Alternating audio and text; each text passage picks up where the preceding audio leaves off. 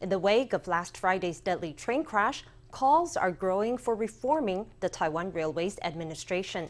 On Wednesday, lawmakers blasted the 70-year-old railway operator for its bureaucratic culture and lackadaisical approach to safety. Speaking at the DPP headquarters, President Tsai Ing-wen vowed a sweeping overhaul of the TRA's work culture and to improve its bottom line. 我们默哀一分钟。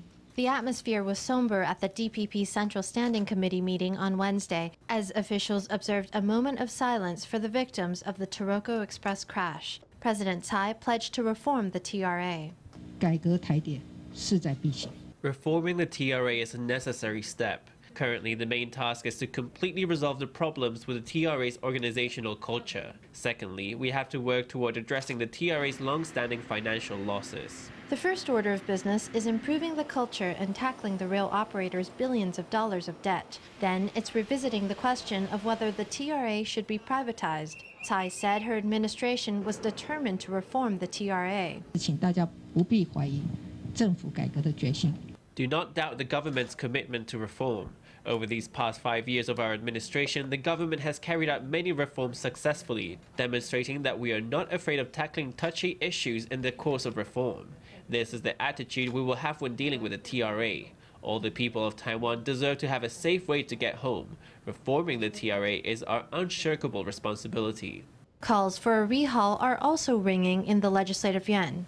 两千零一十五年到两千零十九年， From 2015 to 2019, the TRA averaged 500 malfunctions each year. This is ridiculous. You know that, right?